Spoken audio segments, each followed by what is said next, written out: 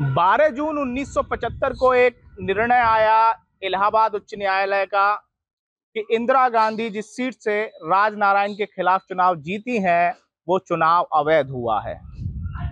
बस इलाहाबाद उच्च न्यायालय का एक आदेश और उसके तेरह दिन बाद 25 जून को भारत में आपातकाल की घोषणा हुई। आपातकाल लागू होने के बाद कांग्रेस विरोधी जो भी लोग थे, चाहे वो संघ से जुड़े रहे हों, चाहे वो लोक दल के लोग हों, या फिर जिनकी विचारधारा उस समय कांग्रेस के खिलाफ थी, सरकार के खिलाफ थी, वो सरकार के निशाने पर थे और उनको लगातार हिरासत में लिया जा रहा था। कासगंज के ये पेड़ इस बात की गवाही देते हैं कि 1975 25 जून जब आपातकाल देश में लागू हुआ तो संघ का गढ़ कहे जाने वाले जनपद एटा में भी 70 से 75 संघ ही कांग्रेस सरकार की रडार पर थे। इस रडार पर तमाम ऐसे लोग थे जिनको 25 जून 26 जून और 27 जून को गिरफ़्तार किया गया और एटा जेल भेजा गया। उसमें से कई लोग ऐसे हैं जो अब इस दुनिया में नहीं है, लेकिन कुछ लोग हैं जो 26 जून को गिरफ़्तार हुए और करीब 11 महीने 12 महीने उन्होंने एटा जेल में बिताए। उस दौरान उनकी क्या यादें रहीं? ऐसे ही जनसंघ के शुरुआती दौर से अब तक जुड़े रहे ज्ञान प्रकाश गुप्ता जी हमारे साथ हैं। बातचीत करेंगे, यादें साझा करेंगे कि आखिर क्या दौर था। सबसे पहले आपका बहुत बहुत स्वागत है। अगर हम बात करें 25 जून है कल 1975 से 2022 सैतालीस साल हो गए। कैसे देखते हैं? और जब आप जनसंघ में काम कर रहे थे संघ में। संघ में? आरएसएस में। आरएसएस में थे आप।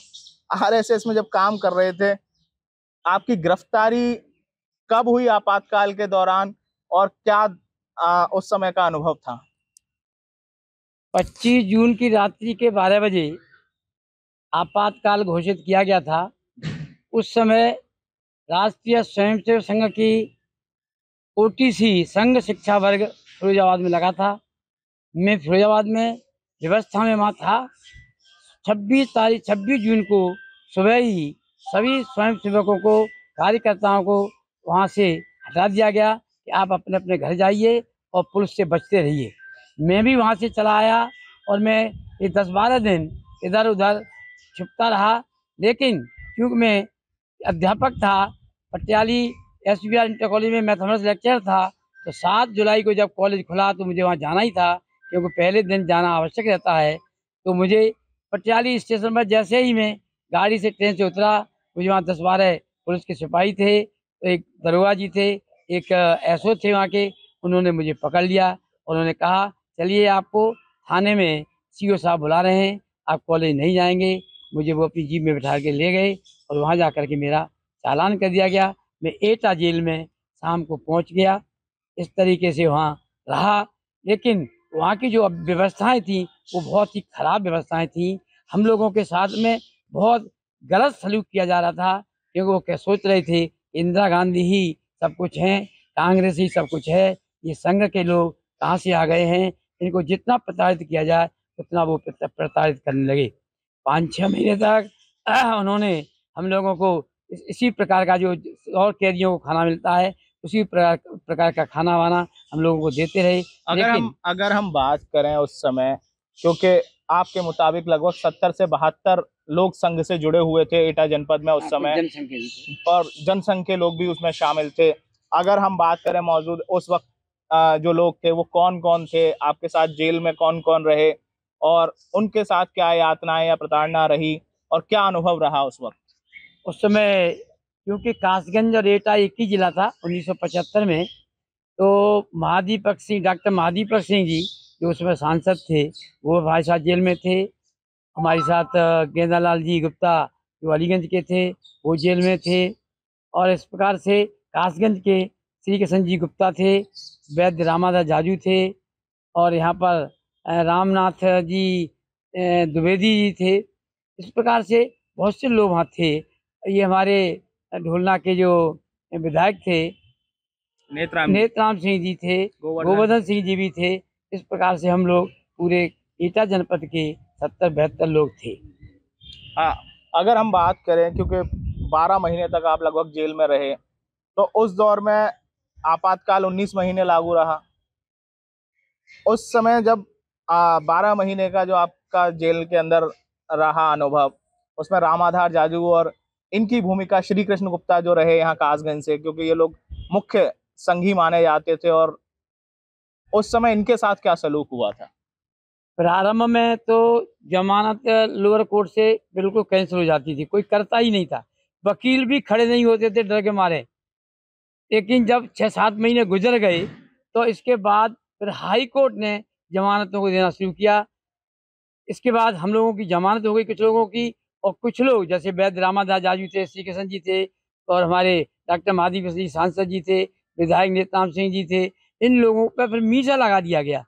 और 19 महीने के बाद जब भारत, वो जनता पार्टी बनी और चुनाव हुआ, जनता पार्टी शासन जीत गई जीत गई थी, तब इनको बाद में रिहा किया गया। रिहा किया गया।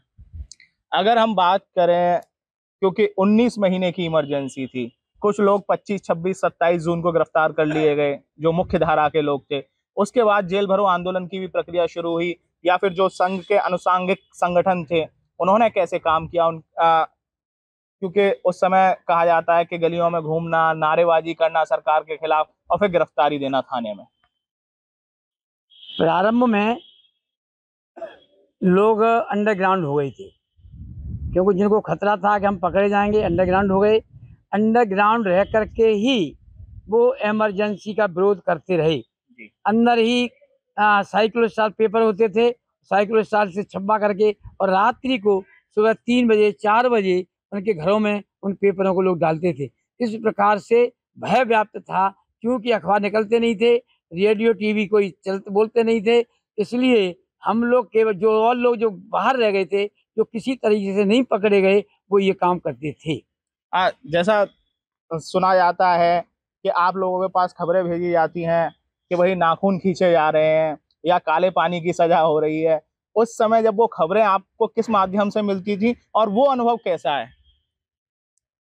क्योंकि प्रचार प्रसार के साधन तो तो न पेपर था न रेडियो था कुछ भी नहीं था। लेकिन जब किसी परिवार के कोई मिलना ही करने जाते थे वो ये बताते थे कि बीबीसी लंदन ने ये बोला है कि इंदिरा गांधी की भी ज़्यादा अब स्थिति विदेशों में खराब होने जा रही है। इनको चुनाव कराना ही पड़ेगा, इनको सबको छोड़ना पड़ेगा, ये सब बातें आती थी। और बीबीसी लंदन ही बोलता था कि किस प्रकार से कार्यकर्ताओं को जेल के अंदर प्रताड़ना दी जाती है।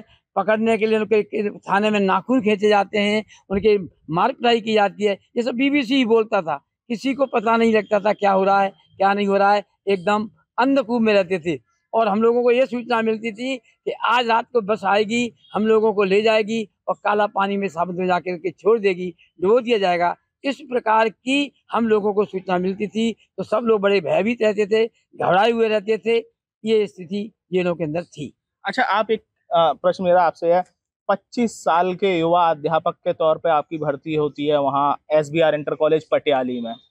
और आखिर वजह क्या थी संघ से जुड़ने की? आखिर कौन सी मतलब संघ की तरफ़ आपकी विचारधारा का रुख क्यों हुआ? कांग्रेस क्योंकि उस समय मौजूदा दौर में सबसे उस दौर के मौजूदा दौर में सबसे मज़बूत पार्टी थी। लोगों का सत्ता के साथ रहने का स्वा रहा देखा गया है। संघ की तरफ़ आपकी विचारधारा क्यों रही? देखिए मैं एक देहात का रहने वाला था। जी। उन्नीस में मैं कासगंज में आया। जब कासगंज में मैंने एडमिशन लिया नाइन्थ में तो यहाँ संघ का बहुत अच्छा काम था।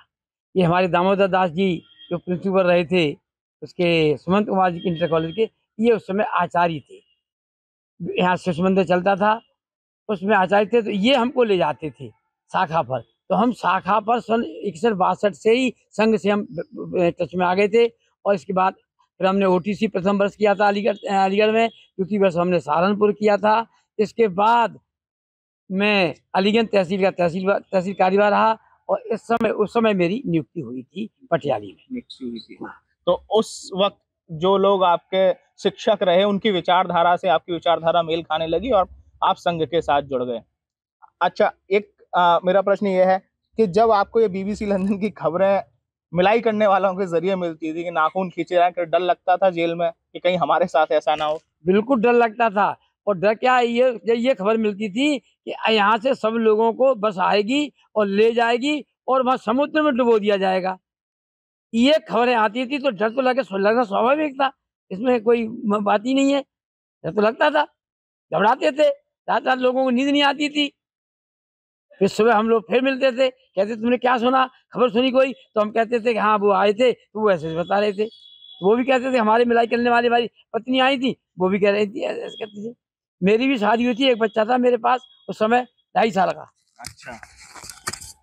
अड़सठ में मेरी शादी हुई थी तो ढाई तीन साल का बच्चा था मेरा जब 19 महीने बाद आपातकाल खत्म हुआ या 12 महीने बाद आपकी जमानत हुई तब बाहर निकलने के बाद माहौल कैसा था?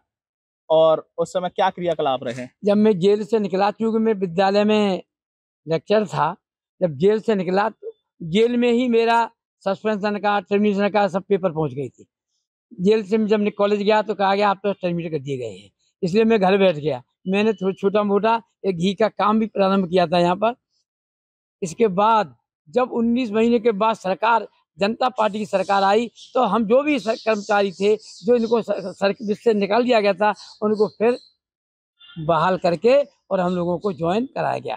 तो मैं जाकर के बाईस तेईस महीने बाद जब जनता पार्टी शासन आ गया तो मैंने जाके ज्वाइन किया।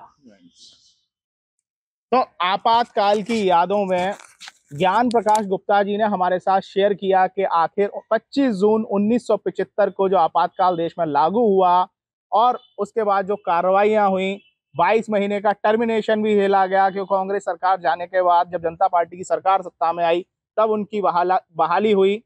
लेकिन जो आपातकाल था आपातकाल का दौर था, वो निश्चित तौर पर कांग्रेस विचारधारा से विरोध रखने वाले लोगों के लिए बहुत मुश्किल दौर रहा।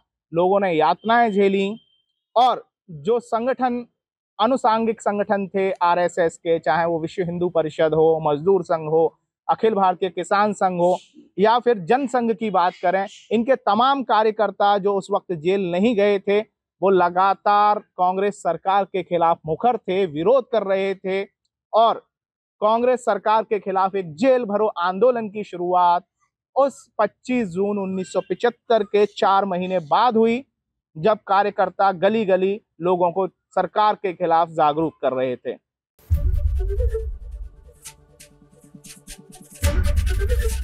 एबीपी गंगा, खबर आपकी, जुबा आपकी।